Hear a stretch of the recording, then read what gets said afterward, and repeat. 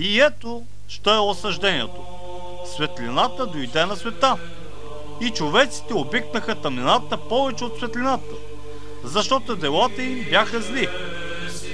Понеже всеки, който върши зло, мрази светлината и не отива към светлината, да не би да се открият делата му, но който постъпва според истината, отива към светлината, за да се явят делата му, понеже са извършени по Бога. След това дойде Исус с учениците си в юдейската земя и там се бавеше с тях и кръщаваше. Също Иоанн кръщаваше в Енон, близо до Салим, защото там имаше много вода и людите дохождаха и се кръщаваха. Понеже Иоанн още не беше хвърлен в тъмница. И така възникна преперня от страна на Йоановите ученици с един юден относно очистването. И дойдоха при Йоанна и му рекоха, Учителю, онзи, който беше с тебе отвъд Йордан, за когото ти свидетелствува. Ето той кръщава и всички отиват при него.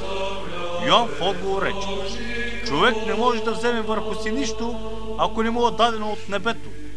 Вие сами сте ми свидетели, че рекох, не съм аз Христос, но съм пратен пред Него.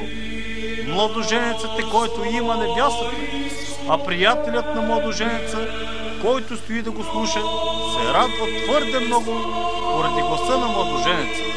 И така тая моя радост е пълна. Той трябва да расте, а пък аз да се смалявам. Онзи, който дохожда отгоре, е от всички по-горен. Който от земята, земене и земно говори. Който дохожда от небето, е от всички по-горе. Каквото е видял и чул, за него свидетелствува, но никой не приема свидетелството. Който е приел неговото свидетелство, потвърдил е с печата си, че Бог е истинен.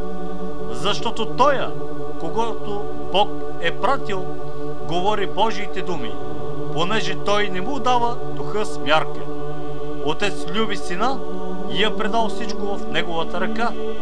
Който вярва в сина, има вечен живот. А който не слуша сина, няма да види живот, но Божият гняв остава върху него. Амин.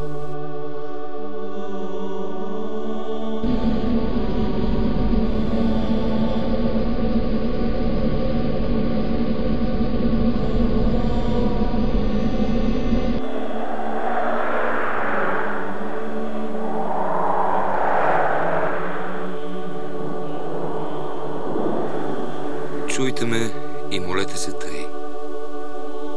Отче наш, който си на небесата, да се свети Твоето име, да дойде Твоето царство, да бъде Твоята воля както на небето, тъй и на земята. На същия ни хляб дай ни днес и прости нам дълговете ни, както и ние прощаваме на длъжниците си.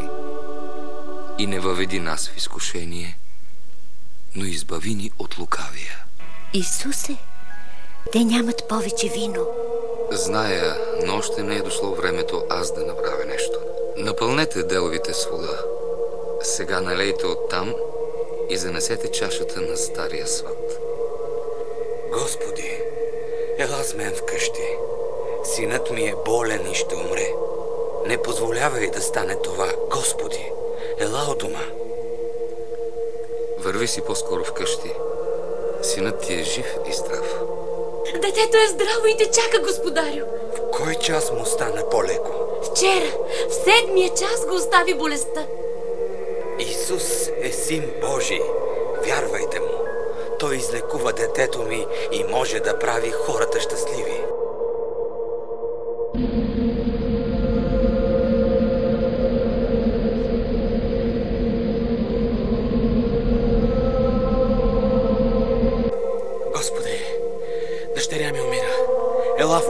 сложи върху нея ръцете си, за да оздравее.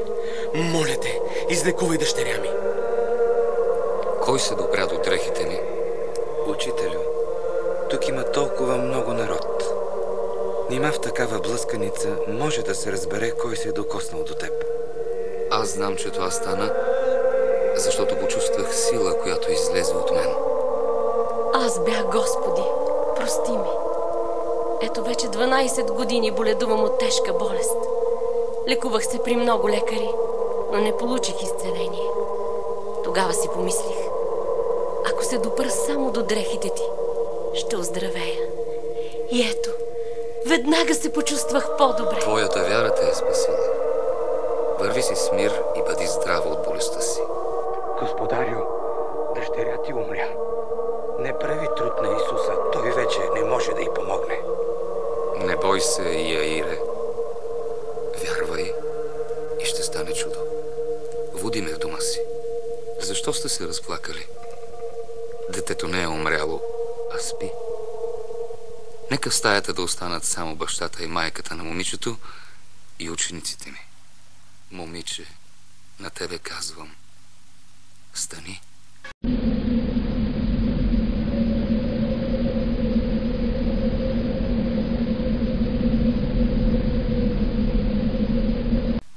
Учителю, разпусни хората да отидат до близките села да си купят храна и да пренощуват, защото тук мястото е пусто. Защо ще карате хората да си отиват? Дайте им да ядат. Тук едно момченце има пет ечемичени хляба и две риби. Ала колко е това за толкова много хора? Накарайте хората да насядат в редици. По 50 души всяка. Раздайте на насядалите хляба и рибите. Нека се нахранят.